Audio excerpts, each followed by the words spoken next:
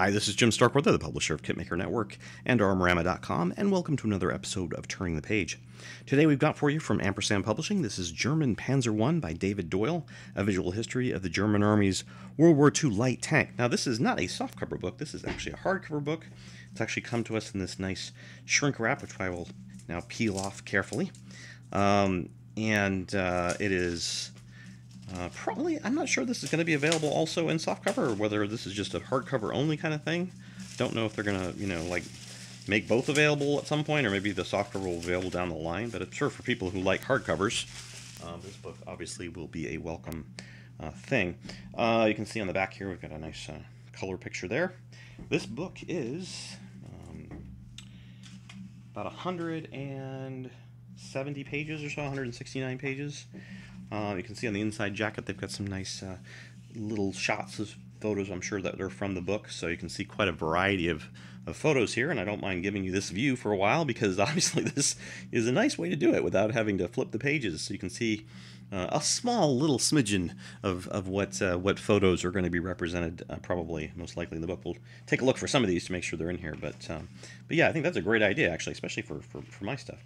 All right, so table of contents. We've got uh, Panzer 1 Offs A, Panzer 1 Offs B, uh, Lich Funk Panzerwagen, Klein Panzer Befehlswagen, uh, Kampfwagen 1 variants, Kampfwagen 1 Off C, off F, off A in uh, detail, off B in detail, and off F in detail. So that I'm not sure those are maybe internal parts or what the in detail things are. We'll see. Um, you can see there's some, some introduction text here, which I probably just kind of skipped over a bit of it. Hold on. Uh, I've got an introduction page here with uh, quite a bit of, of reading there uh, and uh, going on to uh, various um, different versions and so forth, talking about them in advance of the photos. Uh, the photos will have uh, captions like like here in this little block. Um, so uh, this one, for example, says the Panzer I or Panzerkampfwagen I was the first mass-produced tank that the Germans would use in World War II.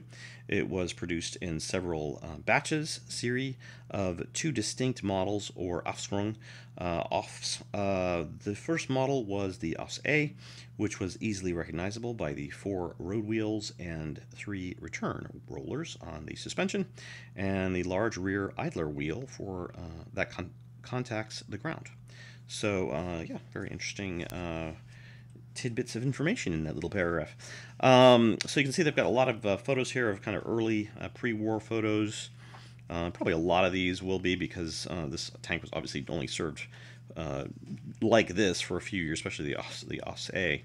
Um, and then uh, I think it was used in the Spanish Civil War, I want to say, and obviously had some other history prior to World War 2 itself, but uh, you can just kind of see, you know, just flipping through quickly, obviously, because it's a reference book and I'm not like sitting for forever on one photo. This is a high res video, after all. Anyways, you can see there's quite a few photos in here. I mean, it, it is. It, for for this series of books, the Panzer One, it's going to be you know quite the book to have. Um, that looks like uh, an OS F. Wow, that's uh, that's got some heavy track wheels on it and stuff. So, uh, but that's obviously a later version. Uh, in World of Tanks, they have the OS-J, which is about impossible to kill at uh, Tier 3. So, yeah, just some little information, there. Um, so, the in detail parts look like they are actually um, reference vehicles. Uh, so, they probably show, I would imagine, a range of photos here, maybe including some interior photos. Yes, including some parts of the interior, engine detail, and mostly external stuff then. Uh, but uh, very interesting stuff. So um, our thanks to uh, Ampersand and, and uh, for sending us this sample book, and uh, congrats to David Doyle for getting a nice hardcover reference book for the Panzer One out.